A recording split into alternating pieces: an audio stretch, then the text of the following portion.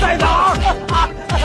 这对躲在树上的兄妹正在被追杀，丝毫不敢有半点动静。只见陈真手臂上的伤口鲜血直流，恰好滴在了马贼红豹的帽檐上。好在小妹及时用手捂住伤口，才没被发现。一行人见搜寻无果，便离开。陈真和小妹也往反方向跑去。随后两人跑到一处排水区，不料马贼大当家红飞早已埋伏在此。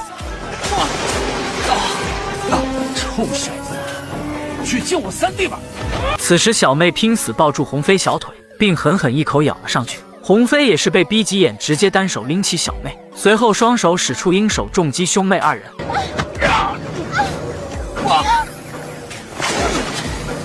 此时上空突然飞下许多油瓶，点燃地面，正是梁虾前来援助。陈真抓住空档，抱起小妹往后逃去。回去后的红飞让手下们去守住上海所有的医馆。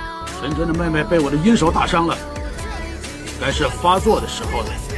一定会带他妹妹去看病的。不出所料，陈真抱着小妹来到了医院，而此时医院已被蔡学富、洪飞等人控制，一群手持棍棒的卡拉咪早已埋伏在此。陈真看到小妹呼吸越发急促，没有和对方过多纠缠，就往外跑去。一行人也紧追其后。情急之下，陈真翻进了一个围院，众人追上一看是日本人的地方，直接被吓得落荒而逃。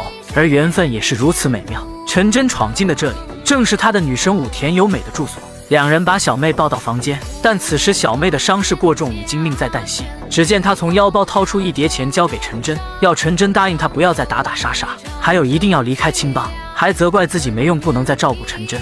妹妹我没有用，随后便口吐鲜血而亡。陈真抱着小妹也是哭成了泪人。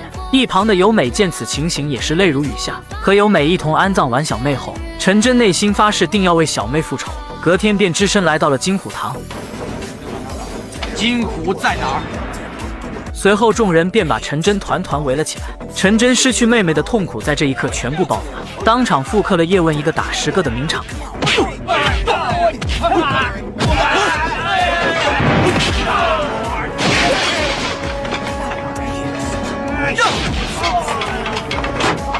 带头小伙想溜走，杀红眼的陈真又怎么会放过他？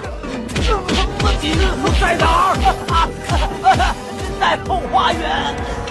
随后陈真便来到后花园，不料被四人设下埋伏，用麻绳绑住。几人抽起斧子就要砍向陈真。陈真低头躲过后，看到脚下有危险，顺势接一记后空翻，再跳起双脚一字马侧踢。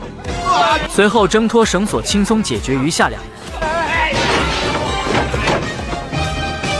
陈真，竟敢到这儿来捣乱，是一点规矩都没有！不是投靠了六年，我早杀了你！搭上我这么多兄弟，我绝不会放过你。这是另一回事。告诉胡飞两兄弟，我明天在城南三里路的废墟等他把命还给我妹妹。金虎被吓得是直喘粗气。点赞关注看下集。